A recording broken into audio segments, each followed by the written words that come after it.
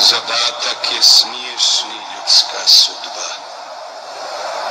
Ljudski život snoviđenje strašno. Čovjek izgnat iz vrata čudestva, on sam sobom čudo sočinjava. Čovjek bačen na burnu brežinu, tajnom rukom smjeloga slučaja, siromašan, bez nadziratelja, pod vlijanjem tajnoga promisla.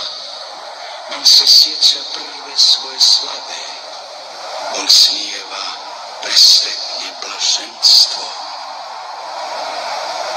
Ali njegovi snovi i sjećanja kriju mu se jako od pogleda, bježe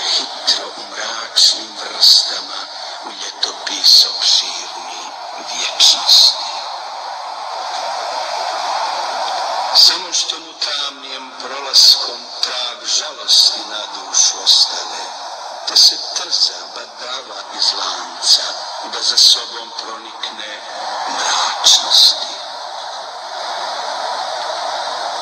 Čovjek bačen pod oblačnu sferu prima ovdje oba začatija, jer mu ovdje dvostruka koljevka, jer mu zemlja tvorcem određena za nakazu kakvu tajinstvenu, ali nagradu burnu i vremenu, ali rasadnik duhovnog blaženstva. A ovo je najviša tajna i duhovne najstrašnije bure ovoga su u grobu ključevi. U vremenu gornom zilištu čovjeku je sreća nepoznata.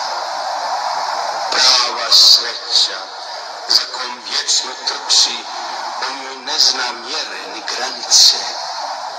Što se više k vrhu slave penje, to je viši sreće neprijatelj.